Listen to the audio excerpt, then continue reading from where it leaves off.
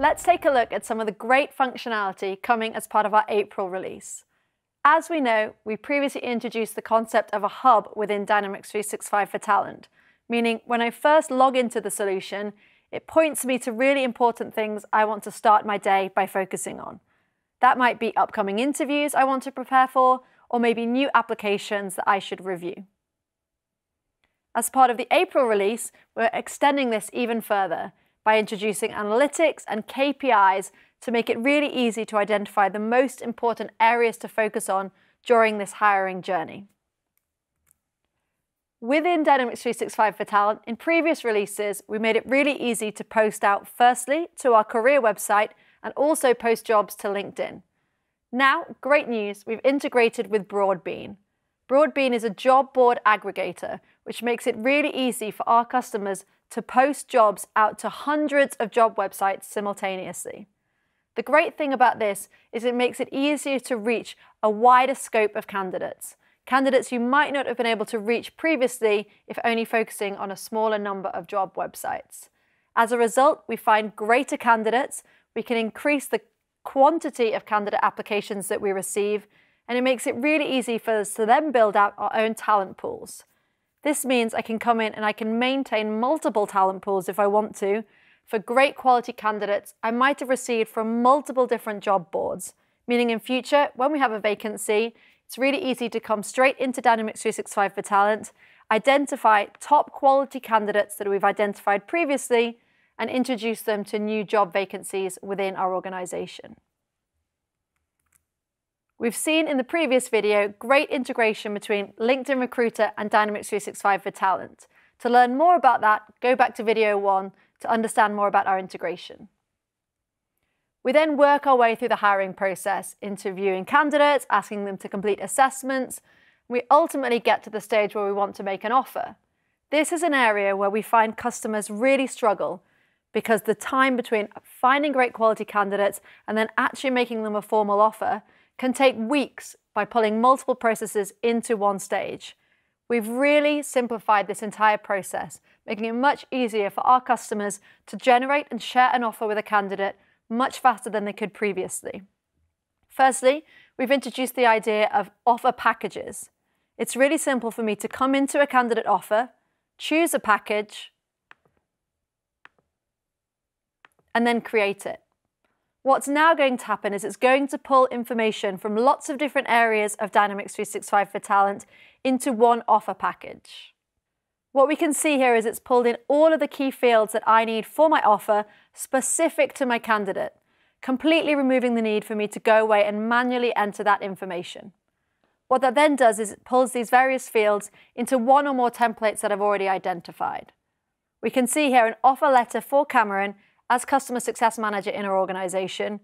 It's pulled in our standard text, and there's just a few simple areas that I want to go away and complete before I share it with Cameron. If I come back to my Offer Data tab, I can type this information in and it will populate it across all documents at the same time. Again, really reducing the amount of time it takes to pull together multiple offer documents for my candidate to sign.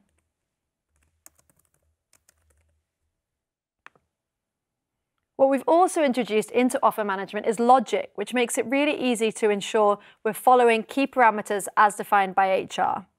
In this case, by choosing a specific country and choosing a level, it's going to prompt me for the typical salary bands we want to work in for our candidate.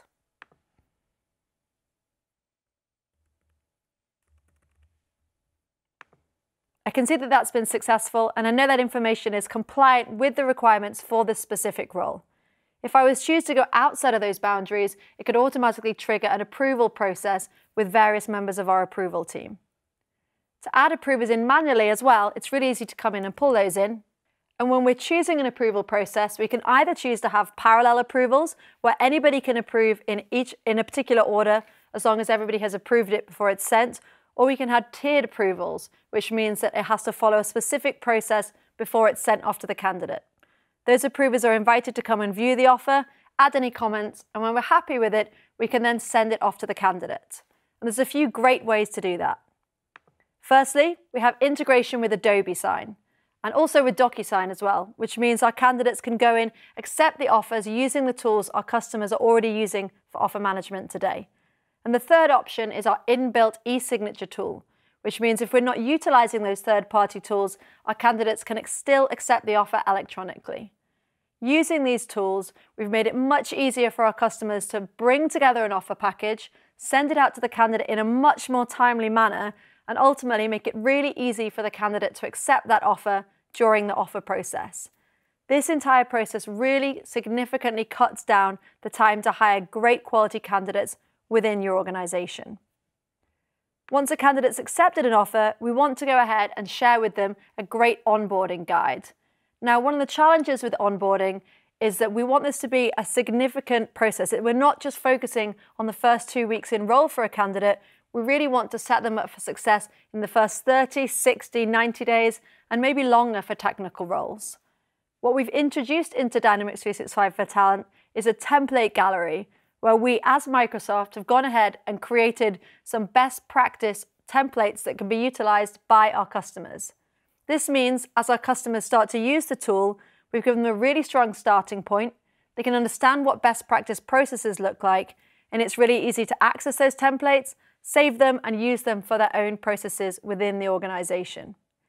As we continue to build this out, we're going to make it even easier for new hires to be involved in this onboarding process, prompting them to complete specific tasks and processes to really set them up for success, making it easier for them to identify they were being successful and also set them up set themselves up for success and promotions within the organization. We're going to continue to build out these template galleries and make it really easy for you to also contribute your own guides to the templates so that other customers can start to utilize this great functionality themselves. Once we've chosen a template, it's really easy to go through and personalize. I can come in, add specific activities that are relevant to our organization on top of any templates that have been shared within the template gallery, and also introduce key contacts as well. Ultimately, we're really focusing on a great cultural onboarding experience for our candidate and setting them up for success, not just in the first few weeks, but in the first 30, 60, 90 days and onwards. So we've seen today some great new functionality that's coming as part of our April release, and we're really excited for you to utilize it in the coming weeks. Thank you.